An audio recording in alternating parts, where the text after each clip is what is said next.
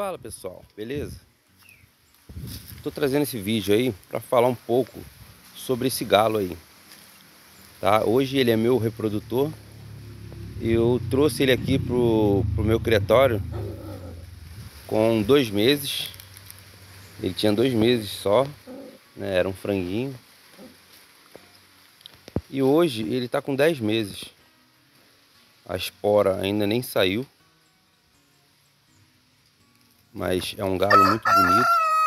E ele já está, vocês viram aí, cantando, né? É, ele já tem um tempo que ele começou a cantar, só que agora ele começou a aperfeiçoar, né? Vamos dizer assim, o canto dele tá, tá melhorando, tá ficando mais, mais limpo. No final ainda tá um pouco roncado, mas Tá bem legal. Ele tem apenas 10 meses, né? Vai fazer um ano ainda, mas já tá galando as galinhas muito bem. Ele ele sempre tá cobrindo as galinhas aí. E o outro galo que eu tinha, eu acabei vendendo, né?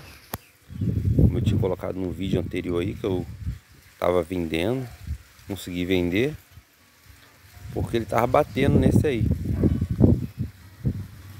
E agora só ele aqui junto às galinhas, é, ele tá dominando, né? É ele que manda agora no, no espaço. Mostrando algumas frutas que tem aqui, né? Com as árvores. Hoje está ventando bastante aqui.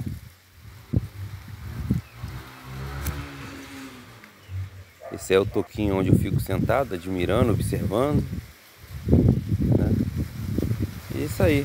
Esse galo aí é o, é o reprodutor. 10 meses. Um galo muito ativo. Um galo muito bonito.